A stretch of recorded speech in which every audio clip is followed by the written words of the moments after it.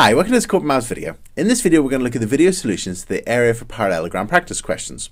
So if you need any extra help on area for parallelogram, if you go to corbettmaths.com forward slash contents and scroll down to video 44, that's the video tutorial on finding the area for parallelogram. Alternatively, you could scan this QR code. But let's get started. Okay, let's have a look at question number one. So question number one, we've been given a parallelogram on a centimeter square grid. So this is a grid where each one of the squares measures one centimeter by one centimeter and we're asked to work out the area of the parallelogram and to state the units of our answer.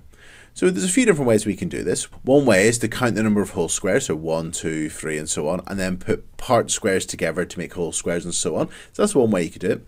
Another way you could do it is to chop off this part, this triangle, and put it on this part, and then you've got a rectangle, and then you can work out the area. Alternatively, you can use the formula. So the area of a parallelogram, the area is equal to the base multiplied by the height, or the perpendicular height of the parallelogram. So if we look at this parallelogram, the base is 1, 2, 3, 4 centimeters long, so 4 centimeters. The height of the parallelogram, well, it's got a height of, if we go up from the base to the top, it would have a height of, if we go upwards, 1, 2, three, four, five centimeters. So It's got a height of five centimeters. So if we just do base, which is four, multiplied by the height, which is five, that will give us the area. And four times five is 20 centimeters squared. And that's the area of the parallelogram. Alternatively, you could have chopped this part off. So if I just get rid of this, alternatively, you could have just chopped this part off here and put it on the end here. And then you would have had this rectangle and it's 4 by 5, so 4 times 5 is 20. But I, I like using the formula for their parallelogram because I think it's quite straightforward. Base times the height. Okay, let's have a look at our next question. So question number 2 says, shown below is a parallelogram. So we've got this parallelogram. It's got a length of 8 centimeters. So the length of the base is 8 centimeters. And it's got a height, the distance between the base and the top of it, of 3 centimeters. And we've been asked to work out the area of the parallelogram. So we're going to do the base. So area equals base times height. The base is 8 centimeters, 8 multiplied by the height, which is 3, and 8 times 3 is 24. And we've got to make sure we put our units on, and because we're dealing with area of the shape, and we're dealing with centimeters, it's going to be centimeters squared. Okay, our next question, question number 3. So question number three, we've been given a parallelogram and this parallelogram we have got the base here of 12 centimeters, we've got the height of 4 centimeters and we've got the length of the diagonal here, the length of the side as 5 centimeters. Now I've been asked to calculate the area of the parallelogram. So we need the base and the height, so we're just going to do the base times the height. We don't need to worry about this 5 centimeters. This 5 centimeters would be useful for finding the perimeter of the parallelogram, but for the area of the parallelogram we're going to do the base times the height, the perpendicular height, the distance between the base and the top of it. So the base is 12 multiplied by the height which is 4 and 12 times 4 is equal to 48 and make sure we put our units on centimeters squared.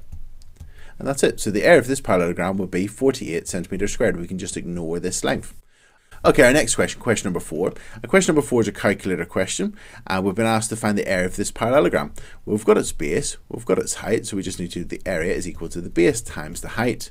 The base is equal to 5.4, the height is equal to 6.1, and if we multiply these on our calculator, 5.4 multiplied by 6.1, that gives us an area of 32.94 centimeters squared. And that's it. And just make sure you put your units on if you need to. Actually, they're in the answer box here, so we just write 32.94. And that's it. Okay, next question. Okay, let's have a look at question number five. So question number five says, this diagram shows a parallelogram. So here we've got a parallelogram. The parallelogram has got a length of 11.2 centimeters, a height of 5.2 centimeters, and the length of the side is 5.9 centimeters. Now we're not going to need to use this because we just need to do the base times the height. The base would be 11.2, the same as the top, times the height, which is 5.2. So we're going to do area equals base times height. The base is 11.2 the height is 5.2, and if we multiply those together using our calculator, that will give us our answer. So 11.2 multiplied by 5.2 equals 58.24 centimeters squared. So that's the area of the parallelogram, 58.24. Okay, question number six. Question number six says this diagram shows a parallelogram. So we've got this parallelogram. The length of the base is y, and the height of the parallelogram is 6 centimeters. And we're told the area of the parallelogram is 54 centimeters squared. Find the length of the base y. So to find the area, we multiply the base by the height. So whenever we do this number, y times 6, we get 54. So if we do 54 divided by 6, that would tell us the length of the base. So 54 divided by 6 is 9. So that means that the base would be, y would be 9 centimeters. So the length of the base is 9 centimeters. So if you were given the area for the parallelogram and you know the height, if you divide the area by the height, you will find the length of the base. And likewise, if you were given the area and you knew the base, if you divide the area by the base, you'll find the height of the parallelogram. Okay, question number 7. Okay, question number seven. So question number seven says, shown below are the points A, B, C on a centimetre square grid. So we've got this grid, it's a set of axes, and each one of the squares measures one centimetre by one centimetre, and we've got A, B, and C. And we're told the point D is plotted so that ABCD is a parallelogram and to find the area of the parallelogram. So we've got A, B, C. Now we need to find where D is. So remember for parallelogram that the opposite sides are parallel, but they're also the same length. So if we look at the top, the length of the top is 1, 2, 3, 4, 5, 6, 7. So that means the base will have a length of 7 as well. So if we go this way 7, we go 1, 2, 3, 4, 5, 6, 7. That means the point D will be here. So this would be our parallelogram. It would look something like this. So we've got a parallelogram and we've been asked to find its area. So let's find the length of the base. So in the question, we're told that it is a centimetre square grid. So that means that each one of the squares measures one centimetre by one centimetre. So it's going to be one, two, three, four, five, six, seven centimetres across. And in terms of the height of the parallelogram from the base to the top, that's going to be one, two, three, four, five. So it's going to be five centimeters. So if we do seven multiplied by five, that will give us the area of this parallelogram. So the base area is equal to the base, which is seven, multiplied by the height, which is five, and seven times five is 35 centimeters squared. And that's it. So there, the parallelogram is 35 centimeters squared. Okay, our next question, question number eight. Now question number 8 says, the diagram shows a parallelogram with a perimeter of 30 centimetres. So the perimeter of this parallelogram is 30 centimetres. So the distance around the outside is 30 centimetres. Now if the left hand side has got a length of 6 centimetres, that means that the right hand side would have a length of 6 centimetres. Now that's actually enough information now to find what the length of the top and the base would be. Because we know that the distance around the outside must be 30 centimetres. So if we add 6 and 6 together, 6 plus 6, that's equal to 12. So that means that the other two sides, whenever we add them together, must must be 18 because 30 take away 12 is equal to 18. So that means that when we add the two other sides together, we get 18. They're the same length as each other. So if we do 18 divided by 2, that's equal to 9.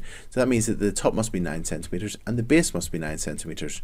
So we've now got our parallelogram and we've been asked to calculate its area. Well, we know the base and we know the height. So the area is equal to the base times the height. The base is equal to 9 the height's equal to 5, the height of it. So we're going to do 9 times 5 is equal to 45 centimetres squared. And that's it. So the area for this parallelogram would be 45 centimetres squared. Question number nine. Question number nine says, shown below is a parallelogram and a square. So we've got this parallelogram and we've got this square. And we're told the area of the square and the area of the parallelogram are equal. And to find the perpendicular height of the parallelogram. So let's find the area of the square to begin with, because we know the square is 18 centimeters wide, 18 centimeters tall, and so on. It's 18 by 18. So if we want to find its area, we're going to multiply the length by the width. So we're going to do 18 times 18.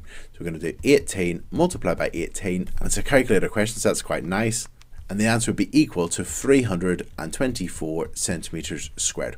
So the area of this square is 324 centimeters squared. But we're told in the question the area of the square and parallelogram are equal. So that means the area of this parallelogram will also be 324 centimeters squared. So now we know the area of the parallelogram, we can work out the height of the parallelogram because we know that the base, which is 25 centimeters, the same as the height, 25 multiplied by the height would give us 324. So if we do 324 divided by the length of the base, 25, we can find the height of the parallelogram. So 324 divided by 25 is equal to 12.96 centimeters. And that's it. So the height of this parallelogram would be 12.96 centimeters. Okay, question number 10. So question number 10 says, Dylan creates a logo by joining two congruent parallelograms. So congruent in maths means identical, it means the same shape and size. And as you can see, there's two parallelograms that have been joined together. If we actually divide them, you can see here, if we divide the shape into two, you can see there's a parallelogram on the top and a parallelogram below. And we've been asked to find the area of the logo. So if we find the area of one parallelogram, we can then double it to get the area of the whole logo. So let's consider the area of one of the parallelograms. So let's consider one of them. Let's consider this parallelogram on the bottom here, this parallelogram here. It's got a length or base of 56 centimeters. Now if we know the height of this parallelogram, we can find its area by doing 56 multiplied by the height. Now the height of the parallelogram, well the height of both of them is 50 centimeters. So if we do 50 divided by 2, that's equal to 25 centimeters. So that means that this parallelogram here has got a height of 25 centimeters, and it also means that this parallelogram here has got a height of 25 centimeters. So now we know the base of the parallelogram and the height of the parallelogram. If we times them together, we can find the area of the parallelogram. So let's do area equals base, which is 56, multiplied by the height, which is 25. It's a calculator question, so that's quite nice. So 56 multiplied by 25 is equal to 1,400 centimeters squared. Now that was the area of just one of the parallelograms, this area of this one at the bottom. Now we want to find the area of the whole logo, but there's two parallelograms, so we just need to double this area. So 1,400 multiplied by 2 is equal to 2,800. So the area of the logo is 2,800 centimeters squared. And that's it. Okay, next question. Question number 11. So question number 11 says the diagram shows a logo that is made up of five identical parallelograms. So we've got one, two, three, four, five parallelograms. And we've been asked to find the area of one of the parallelograms. So to find the area of one of the parallelograms, such as this one here, what we need to do is we need to do the base multiplied by the height. Now if we turn our head sideways here, uh, we can see the base is going to be 10 centimeters and the height would be this distance here so we can just find the height of this parallelogram, this distance, we can then do 10, multiply by that to find the area of one of these parallelograms.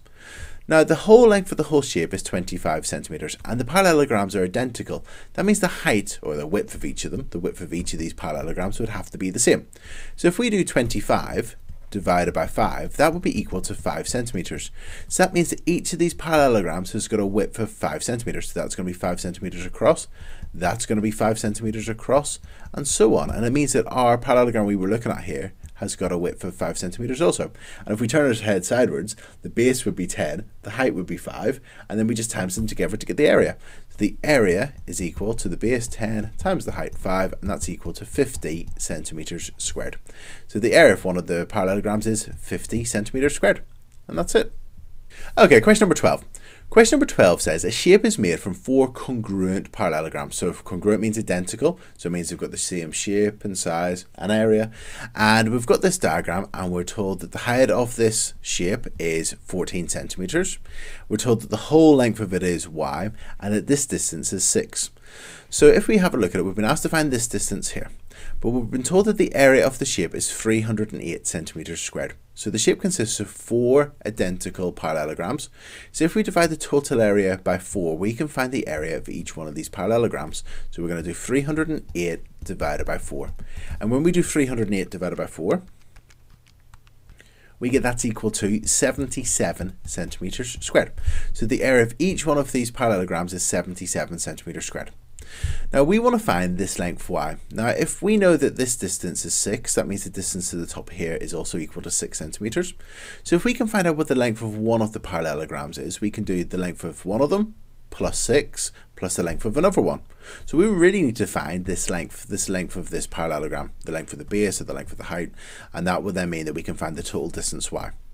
Now we know the area of each one of them is 77 centimeters squared. Now let's consider the height of them. The height of the whole shape is 14 centimeters.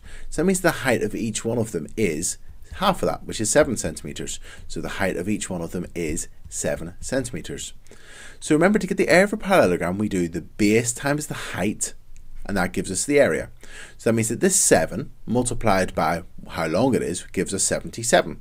So if we do 77 divided by 7, the height of it, that will give us the length of each one of the parallelograms because if we have a look at one of them, we know its area is 77 centimeters squared. We know that its height, the top to bottom, is equal to 7 centimeters and that means that 7 times something will give us 77. So 77 divided by 7 is equal to 11. So it means that each parallelogram is 11 long or wide, or the base of it's 11, and the height of each one of them is 7 centimeters. Now we want to find this length y, so that's going to be 11 centimeters, that distance, plus 6 plus 11. And if we do 11 plus 6 plus 11, we will get the length of the whole shape. So 11 plus 6 plus 11. 11 plus 6 is 17 plus 11 will be 28. So that means that this whole ship has got a length of 28 centimeters. And that's it.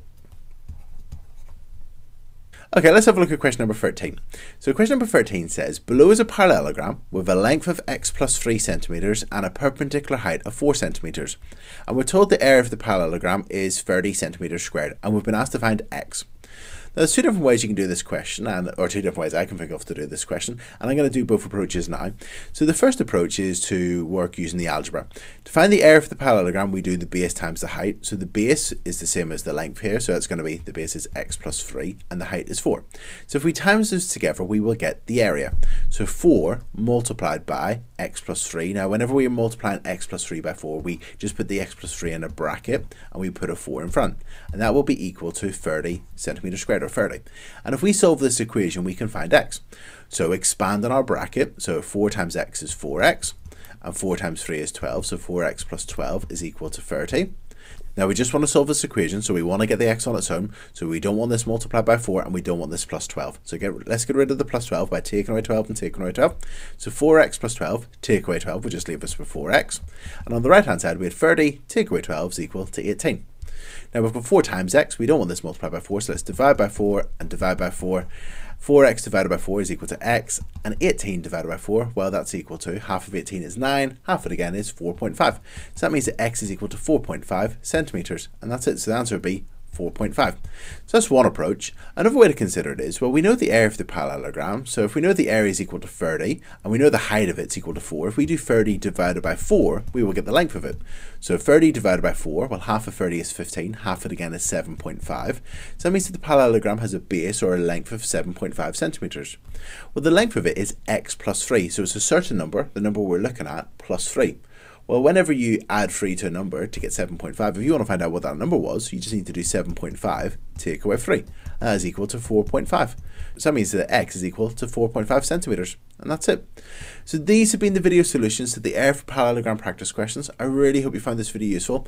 If you do need any extra help on area for parallelogram, if you go to corbettmaths.com forward slash contents and scroll down to video 44, there's a video tutorial there on finding the area for parallelogram. Alternatively, you can scan that QR code. So I really hope you found this video useful. If you have, please like it, please subscribe to the YouTube channel, and thanks so much. Cheers. Bye.